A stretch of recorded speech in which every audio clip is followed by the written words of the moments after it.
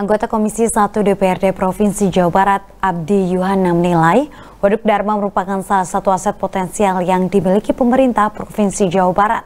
Selain dimanfaatkan sebagai sumber air pertanian dan perekonomian masyarakat, saat ini Waduk Dharma Kuningan sedang dilakukan pembenahan dan bersiap menjadi potensi wisata unggulan di Jawa Barat.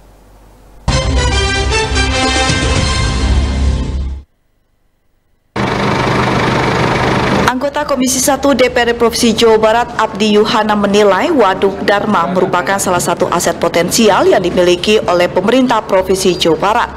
Selain dimanfaatkan sebagai sumber air, pertanian, dan pusat perekonomian masyarakat, saat ini Waduk Dharma Kuningan sedang berbenah dan bersiap menjadi salah satu destinasi pariwisata unggulan di Jawa Barat.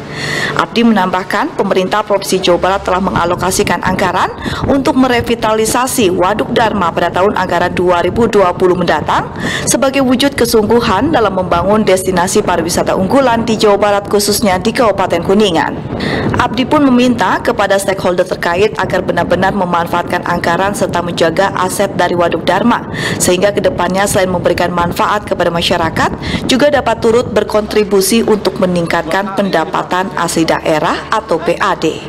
Jadi saya kira ini merupakan aset luar biasa yang dimiliki oleh Pemprov Jawa Barat ya, karena ini berdampak pada benefit ya, manfaat bagi masyarakat. Komisi 1 ingin bahwa pertama ya aset Pemprov Jabar ini harus dijaga ya. Yang kedua aspek benefit juga tetap harus diutamakan dan yang ketiga tentunya ya kalau bisa juga uh, memberikan uh, pendapatan bagi Pemprov Jawa Barat. Humas DPRD Provinsi Jawa Barat melaporkan.